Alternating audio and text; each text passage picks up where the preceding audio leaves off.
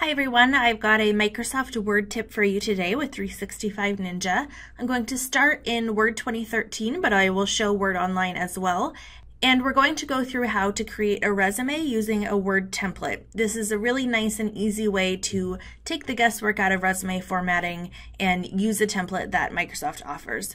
So starting here in Word 2013, you'll go to your File tab, click New, and you have the search for online templates bar here. You can also browse what's available for you just in this sort of pre-made listing here, but I will suggest just type in resume. You can also type in CV as an alternative. Click enter and you have a bunch of options here. So I'm just going to click the very first one. It's probably the most basic and you get a little preview. So just clicking through them, you can go through them and see which one kind of suits you. But once you have chosen one, click create.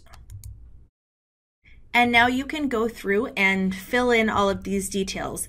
And what's really nice is that it kind of gives you some tips here throughout the template. So if you don't know what to add, you can follow those directions and I clicked tab. It messed up the formatting a little bit, but I can simply control Z to undo.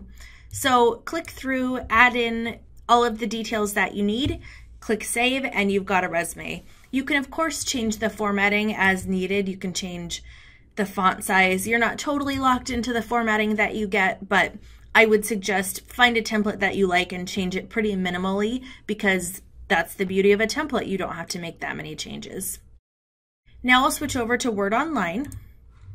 And you don't have the same search bar that you saw in Word 2013. And the way that I got to this screen was by clicking New in Word Online.